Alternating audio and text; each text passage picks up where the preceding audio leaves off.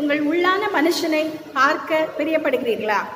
வெளியில் இருக்கிற நம்மளை கண்ணாடியில் பார்க்குறோம் நீங்கள் கண்ணாடியில் பார்த்துட்டு எப்போவுமே தலையை சிங்கிட்டோ பவுடரை போட்டுட்டோ ஏதோ ஒன்று பண்ணிவிட்டு வெளியே கிளம்புறோம். கண்ணாடியில் பார்க்கும்போது எதை கரெக்ட் பண்ணணும் அப்படின்னு தெரியுது.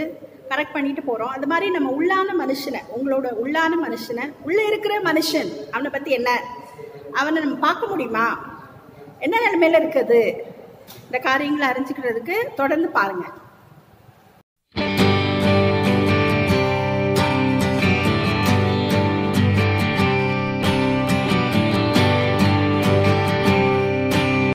அன்பான சகோதரனே சகோதரியே இந்த நாளில் நம்முடைய உள்ளான பகுதியை பற்றி மனுஷனை பற்றி சில விஷயங்களை எனக்கு பிரயோஜனமாக இருந்த சில விஷயங்களை பற்றி உங்களோட பகிர்ந்து கொள்ள விரும்புகிறேன் நம்ம வெளியா வெளியே இருக்கிற இந்த ஃபிசிக்கல் பாடி இதை வந்து நம்ம அடிக்கும் போது ஏதோ ஒரு குத்திருச்சு ஏதோ ஒரு பட்டுருச்சு காயம் பட்டுருச்சுன்னா வலிக்குது.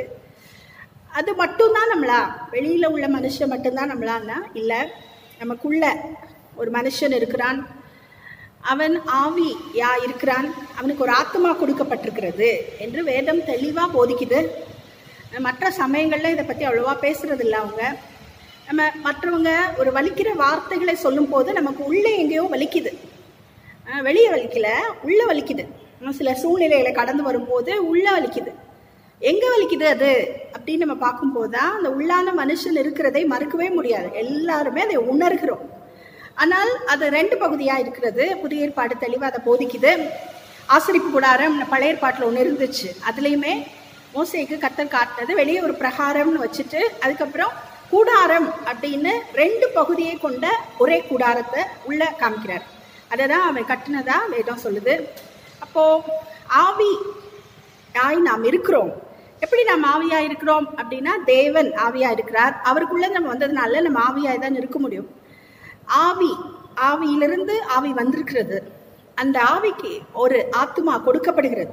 அவருக்குள்ளிருந்து ஆதாமுக்குள் ஜீவ சுவாசம் ஊதப்பட்ட போது ஆவி வந்தவுடன் அவன் ஜீவ ஆத்துமாவாகிறான். அங்கே ஆத்துமா பிறக்கிறது ஆத்மா உண்டாக ஆரம்பிக்கிறது. எனவே ஆவி ஆத்மா கொண்ட அந்த ரெண்டு பகுதிகளை கொண்ட அந்த உள்ளான மனுஷன். இதை வேதம் தெளிவாக புதிய ஏற்பாடில் நிறைய இடங்களில் பேசுது. ஒன்று தெசலோனிக்கேர் அஞ்சு இருபத்தி மூணு. உங்கள் ஆவி ஆத்மா சரீரம் முழுவதும் குற்றமற்றதாக இருக்கும்படி காக்கப்படுவதாக அப்படின்னு பவுல் எழுதுறாரு. எப்ரேயர் நாலு பன்னெண்டு தேவனுடைய வார்த்தையானது ஜீவனம் வல்லமை உள்ளதாயும் ஆவியையும் ஆத்மாவையும் பிரிக்கத்தக்கதாக உருவ குத்துகிறதாய். எனவே இது ரெண்டையும் பிரிக்கிற ஒரு வல்லமை உலகத்திலே ஒன்னே ஒன்று தான் இருக்கு. அது தேவனுடைய வார்த்தை மட்டுமே. அவருடைய வார்த்தைக்கு மட்டுமே நம்முடைய ஆவியும் ஆத்மாவையும் வேற வேறையா பிரிக்கிறதுக்கான வல்லமை இருக்கிறது.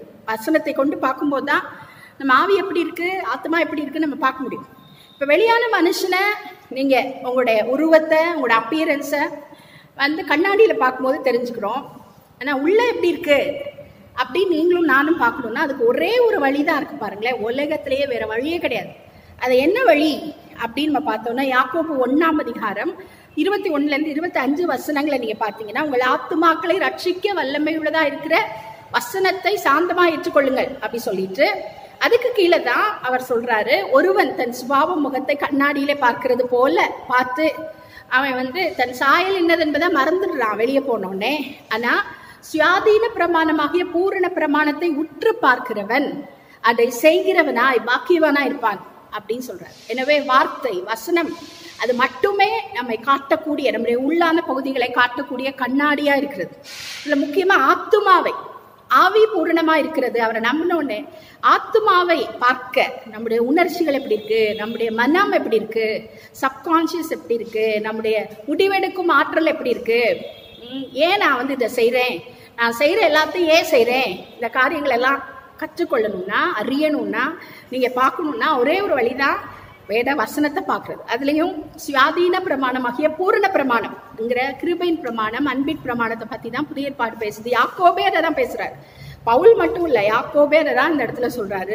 சுயாதீன பிரமாணம் அடிமைத்தனத்தின் பிரமாணம் கிடையாது. பூ- அதுதான் பூரண பிரமாணம்னு சொல்கிறார் எனவே அதை பார்க்கும் போது நம்முடைய ஆத்மா எப்படி இருக்கிறது? உங்களுடைய ஆத்மா எப்படி இருக்கிறது நீங்க பார்க்க முடியும். வேற எந்த வழியிலையும் இந்த உள்ளான மனுஷனை நம்ம பார்க்க முடியாது. அப்பப்போ உணர்ச்சிகள்ல அது வெளியே வந்தாலுமே மற்ற பகுதிகள் எல்லாத்தையும் சேர்த்து எங்கே அது கரெக்ட் பண்ணப்படணும்? நம்ம ஆத்துமா புதிதாக என்ன செய்யணும்?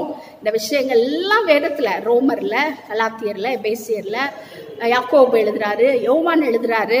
இன்னும் நிறைய பேர் புதிய பாட்டில் இந்த நிறைய வசனங்கள்லாம் அவங்க காட்டியிருக்காங்க. அதை அறியும் போது நம்முடைய உள்ளான மனுஷனில் பலப்படணும். அப்படிங்கிற விஷயம் நிறைவேற முடியும்.